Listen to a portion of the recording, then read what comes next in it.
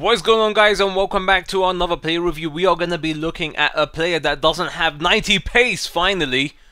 Took a long time. But anyway, if you guys are looking for a cheap and reliable place to get your coins, check out battle.com. The link will be in the description and use the code ITANI to get 5% off. If you're looking for PSN cards or Microsoft Point, check out G2A. The link will also be in the description and use the code ITANI for a discount.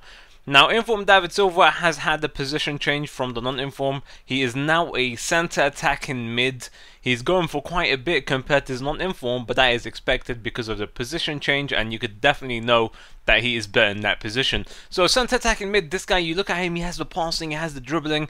He's not the fastest of center attacking mids, but as you guys know, anyone over 70 pace is good for that position.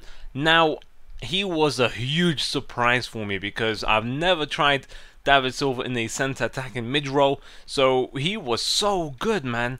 I have to tell you that for a center attacking mid, he was setting up my strikers, scoring goals, getting past defenders with his amazing dribbling. Sometimes you don't even need to assist your strikers, you could just dribble past the whole team with him. That's how awesome he is. You'll see that numerous times in this video where I just get past the whole team by just using David Silva and his 4-star skills and just taking my time. If you're patient with your center attack in middle, any player that has good dribbling, you could easy uh, easily try and be unpredictable against your opponent's defenders, and you'll see them slide tackling, you'll see them stand tackling in different ways. Is stupid, but they have to predict before you get past them, and they most of the time, if you're unpredictable, they are going to predict wrong. So finishing in the penalty area was pretty awesome with his left foot. He also sometimes scored me with his weaker foot, but that's when he had an open goal and quite a bit of the time it was unreliable so when you're trying to finesse it with his right foot it was very very unreliable and I missed open goals sometimes with his weaker foot but that is to be expected two-star weak foot is really bad. So keep that in mind. He's also weak, so even though he has awesome agility and balance, it did help him get past defenders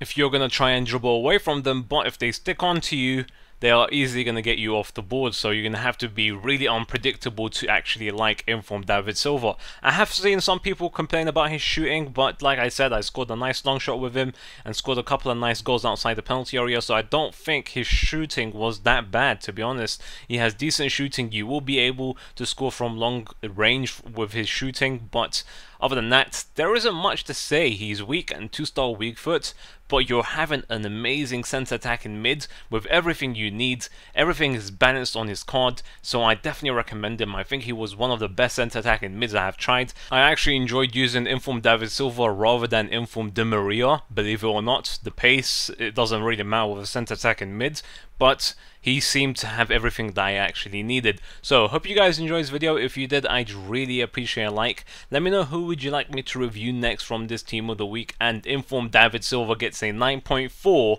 out of 10.